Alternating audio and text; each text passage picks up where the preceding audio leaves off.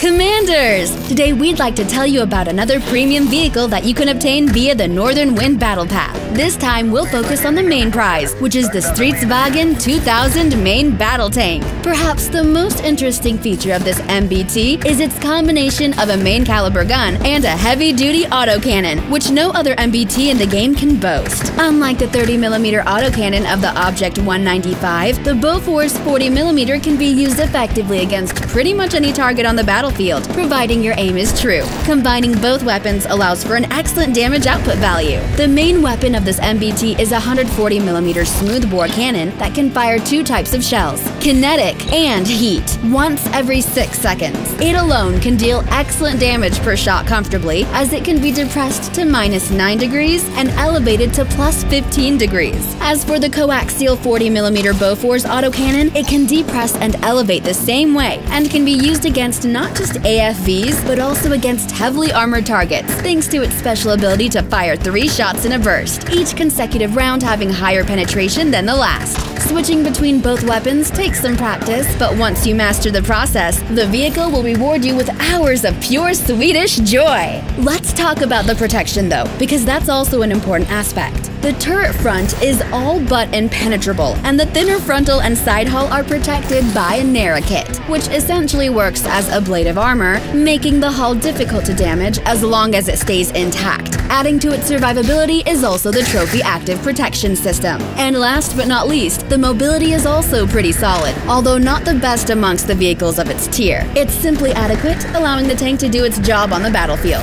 The combination of thick frontal armor, good mobility, and excellent firepower make the Stridsvagn 2000 one of the most universal tools in your arsenal. It will feel right at home in PvE as well as in PvP. The key success here is mastering the process of switching between both weapon systems to maximize your damage for as long as your NERA armor holds. When the NERA armor breaks, it is advised to adopt a more careful playstyle by hiding your vulnerable hull and firing at your enemies from a distance. Do you have this vehicle already? What's your opinion on it? Tell us in the comments below, and as usual, if you like this video, please push the like button below and subscribe to our channel so that you don't miss out on other awesome content.